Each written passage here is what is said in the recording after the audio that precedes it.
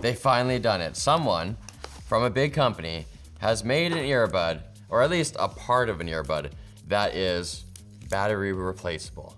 Not the buds themselves, but apparently the battery of the case is replaceable. And that, you know, that is a baby step worth applauding. And I'm gonna try to do it. I'm gonna try to open up this case in this video. But first, let's look at the rest of what's in this box. These are the 2As, the Pixel Buds 2A. And they come with some tips. They come with like a little instruction graphic, pictograph thing. Oh, look at these tips, they're colored. They're like lilac. Extra small, small, and large. That means medium is on the buds already. There they are. I don't know if these tips correspond to like a colorway option. It looks like they do. It looks like they do. Also looks like this has, is that an RGB strip or is it just like a solid, I think it's just a plastic strip. It kind of looks like a diffuser, like what I don't like on the Tesla Model 3s now, the new ones. I think it's kind of cringe they have that. Have you seen that? Colton has one of those cars. I was like, I almost had to tuck and roll out onto the pavement. I'm not looking at this yet. We're finishing this. This looks like it's, if not recyclable, made from recycled material, uh, which is very good. And there's no, is there a cable? This is just a little book. There's no, look at this thing. This is like a little pocket Bible. It's like a phone book for ants. That's insane, but there's no, there's no charging cable. That, that's insane. You, you guys can sense I'm kind of unhinged right now. Speaking of hinges, always like to test the sound, like the fidget ability of it. You know, just in case you want to take public transit and just mess with people. Don't take them out though, play the music from the speaker on your phone. It has that familiar, like, enemies from Portal kind of industrial design egg-shaped thing. The diffused LED light indicator and the hardware pairing button right there you get to press. What I look for in earbuds is a really tactile pairing button. Oh yeah, she's good for 50 million clicks. And of course, USB-C charging on your bottom. Critically though, no discernible way to open this up and tear it down. Uh, so I'll keep looking. If I if I look in here, I can and squint, I can see there are actually two tiny screws. I don't know if you're gonna be able to see this, Peter. If that's how, what you have to do to replace it, I think it's probably gonna be in professional territory. Maybe I have to open this up and like pull out the innards. Uh, but before we do that, let's take a look at the buds. Really glossy on the inside. Um, I like to do a little test where I try to see like, you know, if I was really inebriated or something like that, can I still figure out which one goes where? Like, do they go in easily? Can I put them back in the case, like, without looking? Oh, that was, that, that did it. That's pretty easy. And if you mess it up, just, I just can't. And if you do, can you just, what? wow, they did it. They're James proof. I can't even demo them going in stupidly. There's also a screw at the bottom of each one of these earbud wells. That's a star pattern. I'm gonna try unscrewing that to get at the battery. Magnetic tip versus magnetic case. Like, eh, give me that, come here, come here. Come here. If I brick this, the video's over before I even get to listen to them. I should probably do this last, but you know what? I'm, oh, I'm doing it for you guys. Cool. This whole thing came off. Weird. I'm just looking at it. Looks like a like a controller, like a GameCube controller or something, you know, with that like rubber pad on the backside of the of that button, which is I guess should be expected. And then you can also see that this this light, like the plastic's thinner there to allow the light to go through. Now that we got her in her birthday suit here, uh, yeah, you can see it still functions. This is like, it's so cool to see it like this. Do you think anyone will just run it, run it naked like this? kind of cool. And then they have this little paper tab. And if you give it a pull, oh, this whole thing slides out. And there's like these little kind of pogo pins on the inside. And then this is like the battery caddy that connects from that little pad right there and holds the battery. Rechargeable lithium ion battery, 1600 Amphitheater Parkway, Mountain View. I, th I thought that was gonna tell me the milliamp hours or something. No. Okay, this battery module, I have a feeling you wouldn't actually get to replace that little little candy on the inside. You'd probably replace the whole caddy and that. It's probably glued in there. It doesn't seem to want to come out and it's also, I don't want to say keyed, but this little bit almost looks like a ribbon, a ribbon that's like gone through there and bent over. Now on here it says g.co slash pixel repair, which brings you to a generic site. So you gotta type in your, what number is this? A serial number? And they put it in such a convenient spot. it's actually written in the well in here, but it's not written straight down, it's written on the lip of it. So in order to read that, you have to hold it like this and shoot your eye to try to read this thing that is blocked by this thing. It's the worst, and it's so tiny.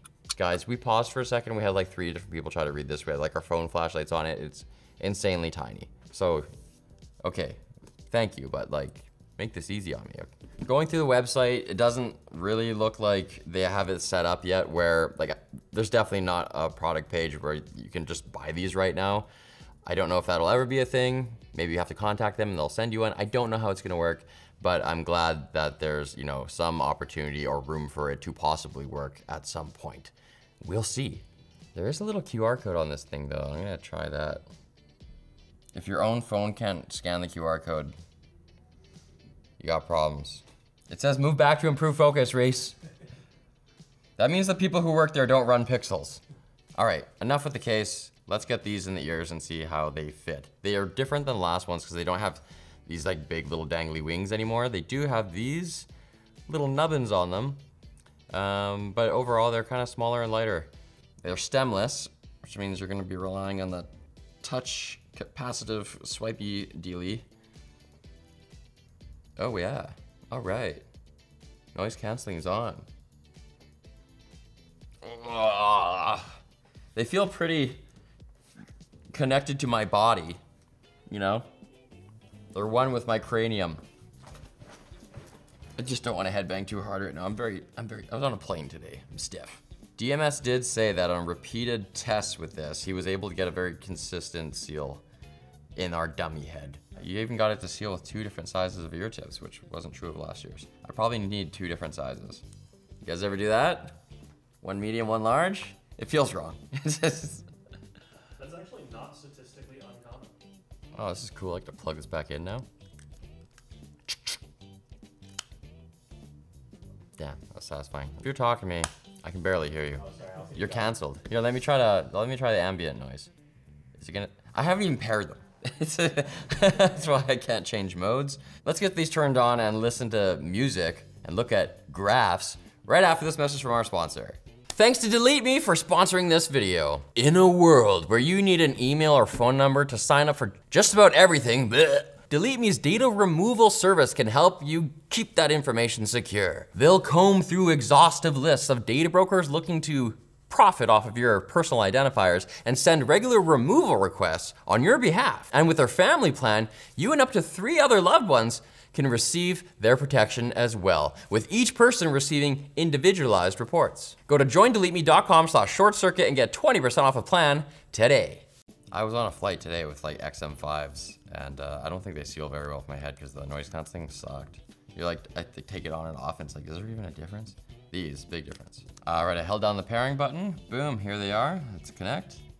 Mm, add Pixel Buds 2a to Find Hub, so you can locate the device when it's even when it's disconnected. Use it in a legal way. Don't just slip this into a stranger's back pocket and use it to find out where they live. This noise canceling is better than the Nothing Pro 3s that I tried last time. Okay, these I would say are for bass heads, but they're not like comically wrong. Um, ugh, my ears, man. like uh, the nothings were out of the box before I put that special EQ that uh, Labs made onto them, which helped it a lot. Um, those were like, my music is obviously playing incorrectly. And those were similar to the AirPods Pro 3s, honestly, in the amount of bass. These, pull up the graph. These do have a lot of bass. Within that range of what most people like, it's on the upper end. And I would say like these are kind of bassier than I would want, at least for metal. I was just listening to rock music, right? The problem though with these is this scooped out trough in like the upper mids low treble over here. They have this warm sound, um, but it just feels like something's missing. It feels like the whole thing is kind of too bassy, but then with like sparkly, kind of overcooked highs on top. Um, fortunately, you can tune these a little bit. You can EQ them a little bit in the app. Comparing to last gen, you can see that this one's just like a warmer version. Last gen it was cooler. But the more interesting comparison is actually the Pro 2s, which look fairly close, but this is kind of just a better version. So the, these new buds are the red line, and you can see that they're just way more consistently in band compared to the blue, whilst though still having kind of the same weakness, that again, that trough in the, in the low treble. And then comparing to the AirPods 4, not the Pros, just the regular 4s, that, which do have active noise canceling, uh, and we had active noise canceling on, on these Google Pixel Buds uh, throughout all these tests, by the way. On this graph, you can see that what you're really gonna gain here is consistency because this graph doesn't show it, but we had, we were just all over the place. Every time we put those AirPods in, it's sealed differently, and in particularly in the bass, sometimes it looked like it just really fell off, and then sometimes it, it did a better job. In the in this average, you can see the average is still quite a steep roll off compared to the lower notes that you can get out of these more consistently. And one other big difference you can see here is where the buds really drop off around 1.5K. The AirPods still have that little peak there, so that's gonna make them probably a little more shouty or honky, you know? but if you're not happy, you can go into the app, the app, air quotes app, and do some EQing. Let's check it out. The reason I'm doing air quotes for the app is because you actually don't need to download an app. All of it is in the settings of your Android device. No guarantees for iPhone, I don't know what that looks like. So here we are in the Bluetooth kind of details page and you can see there's just some extra things. You can see we have a couple of quick controls for you know some of the things that are actually on the buds themselves, like switching between noise cancellation, transparency, and off. You can just manually do it there. You can choose the notifications and preferences for your digital assistants, which uh, which can actually be Gemini on these. And you can turn on or off the, the ability to have like the multi-connect thing where like I'm listening on my laptop, now I'm listening on my phone. But you can also launch even more settings. And now that we're in here, we can finally see the EQ and also the touch controls, which let's just take a little uh, side quest there. Use touch controls is just on or off. That's kind of cool, just in case. Sometimes you do get those like false positives, so it's, it's nice to have that. They really give you like no ability to change the controls. The only thing you can change is what the long press does. And that can either be the noise canceling or it can be the digital assistant. You get a single tap for press and play like normal, the double for next, the triple for back. That's all normal, but you can't change any of that. And critically, you can't adjust the volume. Even, I, I don't like adjusting volume with swipes, that sucks, but you can't even do that. You can on the pros, so I guess, are they like paywalling that? Personally, I, I think that's just like bonkers. That's not something that you should like have to pay extra for. It's just bad if you don't have it, that stinks. Um, I really don't like having to take my phone out of my pocket or, or reach down and, and, touch it just to uh, adjust the volume. So you got your ear tip seal check. Here's the, oh, balance. What? Is this like, if one of my ears is better than the other? It is. It's just like in your car stereo. I could like share earbuds with my like aged father-in-law. I could turn him up and keep me low. That's kind of interesting, but I'll probably never use that personally. Might be great for you though. And what we've been looking for, the equalizer. It's a lot more Mickey Mouse than some of the equalizers I've seen. Uh, as you can see, you only get five knobs and they go up and down. Uh, it doesn't really say decibels, minus 60 and plus 60, whatever that means. Uh, they have what? Do they have, yeah, some presets. Heavy bass, light bass, balanced. You can see them move around and then if I tweak one, can I, I can save it. It's just called last saved. Can I save multiple? You can't have like profile one, two, and three. That stinks. And then there's an option to turn the volume EQ off. That's that's like it. When you turn it down, certain frequencies get boosted up because your ear doesn't isn't as sensitive to all frequencies equally. Does that make sense? The battery life, kind of mid, honestly. Not very impressive. Seven hours from the buds themselves is nice, but you're only getting 20 total listening time with the case. That's with active noise canceling on. It's a pretty slim case, but it's not smaller than an AirPods case, and that battery life is definitely worse. You do get one hour of listening from just five minutes of charge, so that's cool. But I mean, maybe this matters to you not. Like maybe you got your watch, you put on your bedside, you charge everything every day, you'll be fine. They're IP54 rated, so splashes and like wear it in the gym, sweat's not gonna mess with them. This is not an exceptional rating, it's very, this is a basic rating even on, on budget earbuds. So what do I think of these guys? I think they're okay. They're okay. I think the out of the box sound profile is better than some and you have some ability to EQ, though I don't see any ability to upload your own custom EQ like we could on the Nothings, uh, which it was dope. Um, so I'm, that's kind of sorely missed here, but you know, they're pretty fine. And if you are just kind of on the fence or ambivalent about which ones you're gonna get, maybe vote with your wallet and get these ones that have the repairable battery thing just as a, you know, a signal that you think that is important to have and you want other people to do it. Thanks for watching Short Circuit, guys. If you like this video, go check out my unboxing of the Nothing Pro Here. 3s that I did a couple weeks ago or Linus's look at the new AirPods Pro 3s. That's what they're called, right? There's so many combinations of numbers and pros and non-pros and Glyven